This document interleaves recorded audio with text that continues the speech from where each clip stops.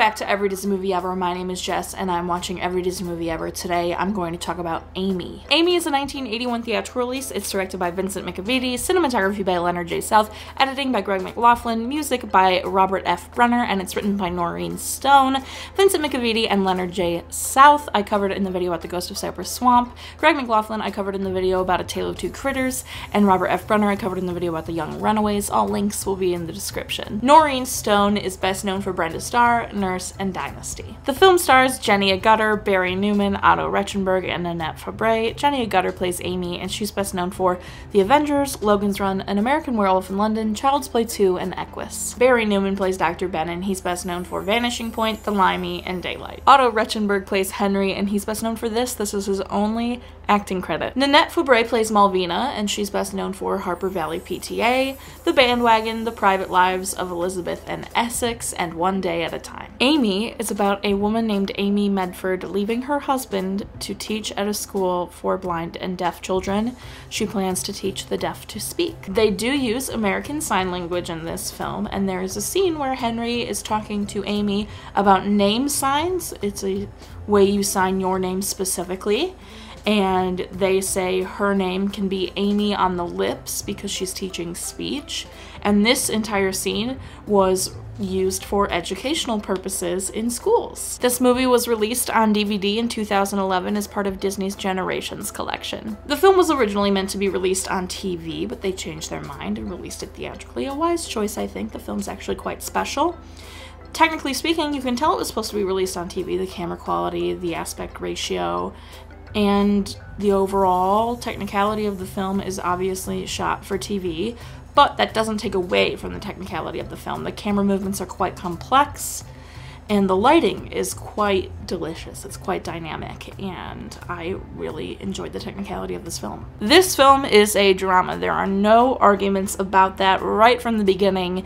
Amy is such a complex character the first thing we see is her leaving a note and her wedding ring and then leaving her house. So she's obviously leaving her husband, and we have no idea why yet. And then she shows up at this school for blind and deaf and wants to teach the deaf how to speak. And you just gather that she might have had a deaf child or something tragic happened to her. And that is the truth. Her husband told her she couldn't bear normal children, so they only had the one child and her child was deaf, and he passed away when he was about six or seven, and it destroyed her.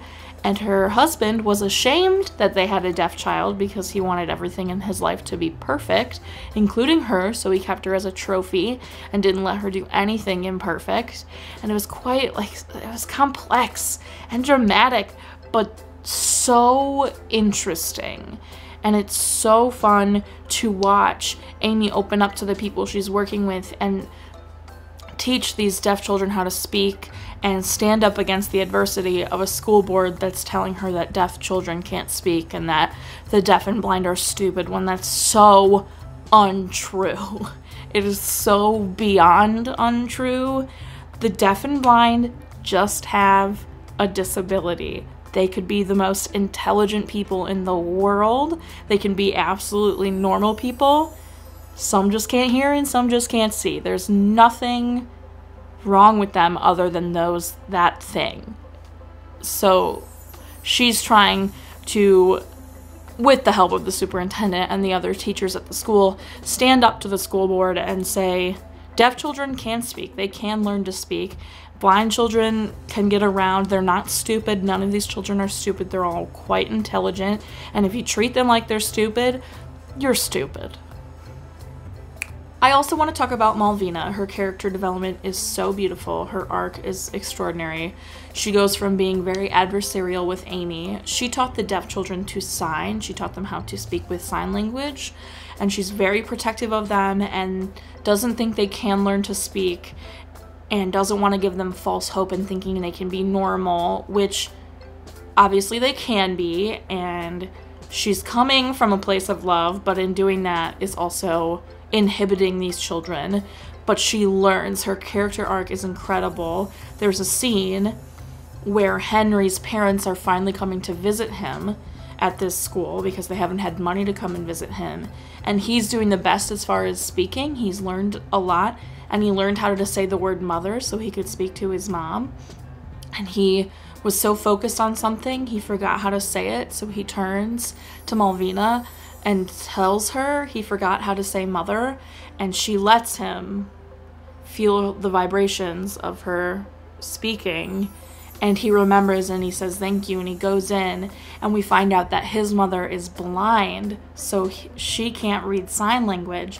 So when he says mother, she has a full on breakdown because she heard her son speak for the first time. And in that moment, Malvina realizes how important it is that these deaf children learn how to speak and that they can learn how to speak. And the moment that she let Henry touch her cheek to feel her vibrations when she says mother and watch her mouth, I got so teary. I didn't cry. I was very surprised I didn't cry, but I got so teary and it was just such a beautiful moment. And then from that moment on, she's a lot warmer to Amy and she's a lot more accepting. And then later in the movie, she even tries to protect Amy from her husband. And it's such a beautiful arc to how they become friends and how she realizes that she was potentially holding the deaf children back and wants Amy there to teach them how to speak. It's very, very beautiful arc. Throughout the film, Amy and Dr. Ben are falling for each other, and this is by far my least favorite part of the film. I think it is so unnecessary. I think their chemistry is about a two on a scale of like a hundred. I don't think it's a good storyline to have inside this film. I think it's completely unnecessary. I think we need to focus on Amy finding who she is and helping these children and getting away from her husband. I think her falling for Dr. Ben is convenient and just there because it sells tickets. I don't know. I didn't like it at all. Every time they had a scene together that was meant to be a, you know, like, ooh, they're flirting, they're in love, was cringy for me.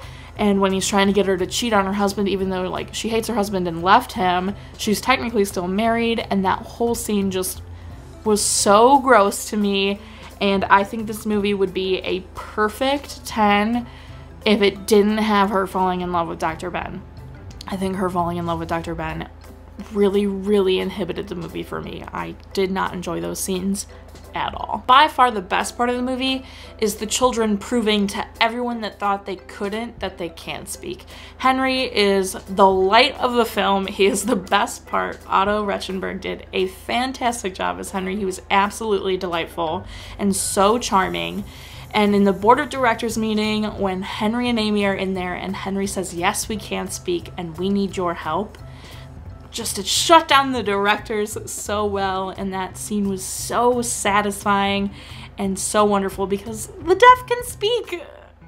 We can do everything normal people do just like blind people can do everything normal people do. I mean come on people. Quite a few children die in this movie. I'm really surprised i didn't cry at all. I got teary in that one scene but no tears fell not a single one the first death was Amy's child, but we don't see that. We just know he's dead, and that's quite sad. The second death was the small little four year old, soon to be five year old from influenza. That was so sad. I, my heart was so hurt for him, but also it was a little bit earlier in the movie, so I wasn't super attached yet, I feel like. The final child death, which is a 19 year old, just shocked me. Like, I was like, that for a solid two minutes when he died, just because I couldn't believe it how they did it and that it happened, and so I didn't cry. It was very sad, but I didn't cry. I was just shocked more than anything. Amy Medford's crap husband spends the entire film with a private investigator trying to find where Amy has gone because she left a note saying she had to leave, but it doesn't say where she's going, leaves no hint, whatever. The private investigator finds where Amy is, and her crap husband shows up and Malvina lies to him and says there is no Amy at the school, but Amy comes around looking for Malvina and uh, ruins that. So Malvina tried to protect her in her beautiful character development, but with no success because Amy shows her face and the husband then proceeds to try everything to get Amy to come with him, saying, We can have another child. We're perfect together. We can try again. I'll change. He tries every textbook answer and she says, You treated me like this and you treated me like this. And I only realized that it was my fault that I was letting you treat me like that. and I'm not gonna let you treat me like that anymore. And it's such a beautiful moment. And then he says, Amy, you belong to me. And she says, I belong to myself, which is so good. Ugh. And then she just goes upstairs with Henry, and he's left there to leave. It's such a fantastic moment. So true, by the way, everyone out there, even men, you belong to yourself. You can choose to share yourself with people, but you belong to yourself. Just saying. It was such a beautiful moment, so empowering, so wonderful, and just proof that she grew and that she knew what she needed in her life and that she was adamant in staying. And it had nothing to do with Dr. Ben, and that is the best. He was all, You fell in love with another man. And she says, It has nothing to do if I fell in love with another man or not.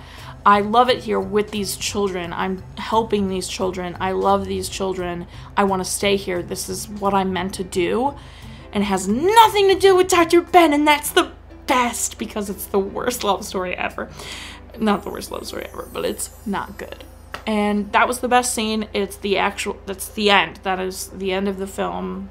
Mr. Medford leaves in a huff, and she goes upstairs with Henry to stay there and teach the deaf how to speak. It's fantastic. That's all I really have to say about Amy. I actually really enjoyed this movie, save for the love story, so I think I'm gonna give it 8 eye patches out of 10. To know what the eye patch reference is, you'll just have to watch the movie. Our total movie count is Parent death toll and cry count are still the same. If you want to keep up with what movie I'm watching when, follow me on Instagram or Twitter, and you'll find out what movie I'm watching when. I put up videos every Monday and Friday. Until next time, comment, like, and subscribe, but I'm not charged like you are, so you do you, and don't be Mr. Medford about it.